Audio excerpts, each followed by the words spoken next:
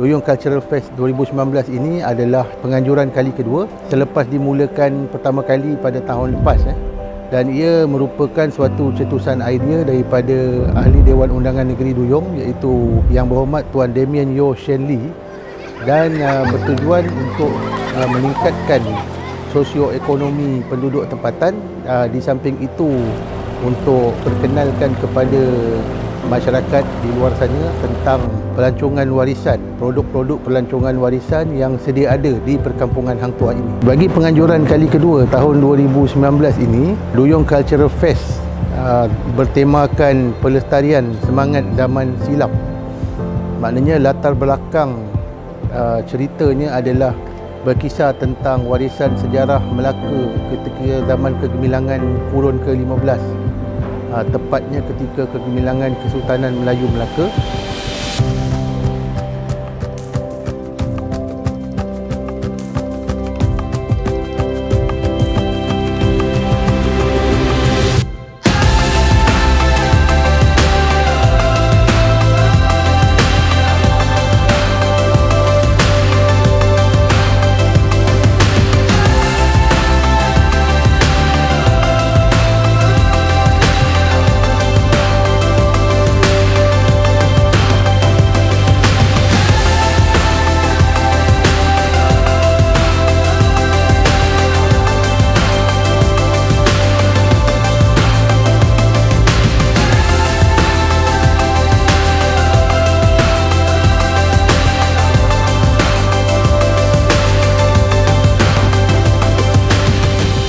apabila kita menganjurkan festival untuk kali kedua ini kami cuba untuk melestarikan elemen-elemen warisan yang wujud pada zaman kegemilangan Kesultanan Melaka itu yang mana pada ketika itu diketahui bahawa Melaka merupakan suatu tempat pertemuan antara pedagang-pedagang ya dan tetamu-tetamu daripada timur dan barat. Dan ini telah melahirkan satu budaya yang unik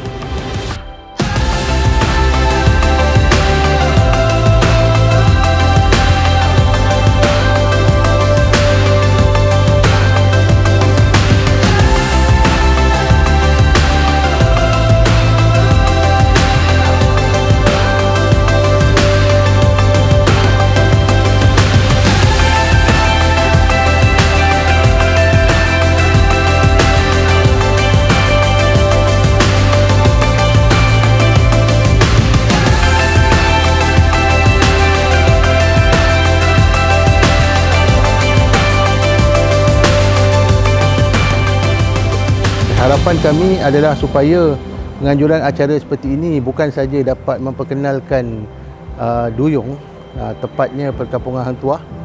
dan kawasan-kawasan sekitar kepada dunia